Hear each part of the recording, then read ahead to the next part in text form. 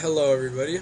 So, Computer Whack here, and today I'll be talking about my opinion on Windows 8. So, um, as you see, I am running Windows 8 and Windows 8 release preview. So, my opinion on Windows 8 is that it is not fit for a desktop laptop computer. Now, Windows 8 is a tablet modified. It's a tablet optimized OS. Now, by that I mean when you what is it? When you go into the Metro UI of Windows 8, um, it just it's not meant for a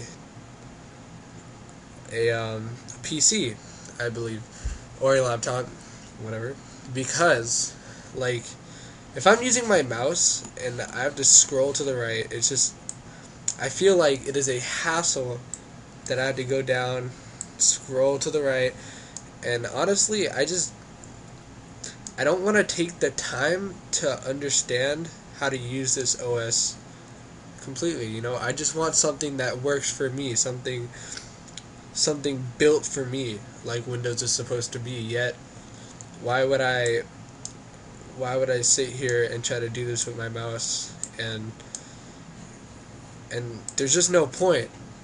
It's also another thing I dislike is that that my desktop is running but I have to go to my start menu to like I could reach my apps from my desktop after installing this program um, it makes it really easy to use apps from the desktop.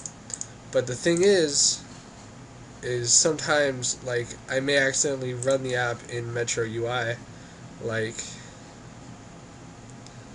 see some of these apps I don't use. Let's say I have Internet Explorer. Nope, not Internet Explorer. Um, okay, one of these travel.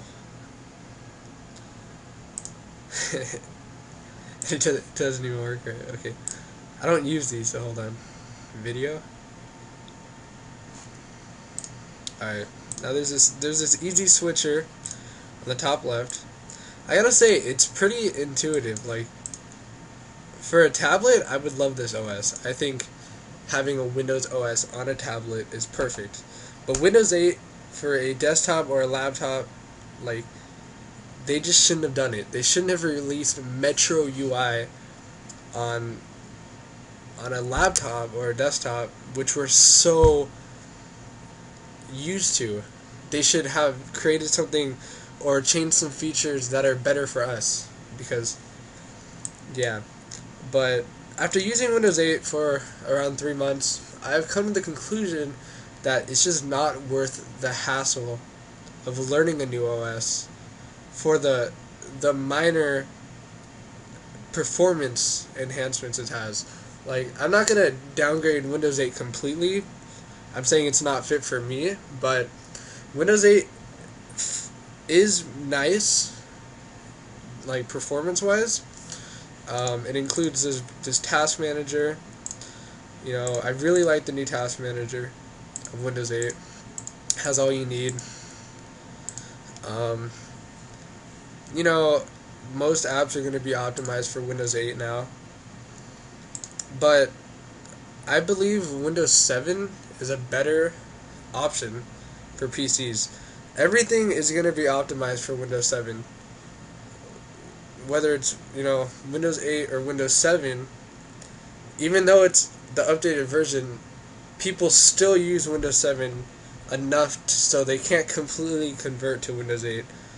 Um, creating apps wise. Now there's there's enhancements to, to put on your Windows 8 that that would make it more like Windows 7, like this this little thing I had, which is kind of like a start menu for Windows 8. But it's just it's just complicated. It's it doesn't work right as you see, and it's just it's just too much. Sorry, Windows 8. I gave you a chance.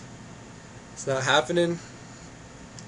Um, So yeah, you guys, why don't you guys leave your opinions in the comments, and we could have a discussion in the comment, comment, um, chat log, and yeah, computer hacker, subscribe, comment, rate, uh, for more videos. Um, hopefully, gonna be putting out those videos, and uh, yeah, gonna start being on webcam, which is cool.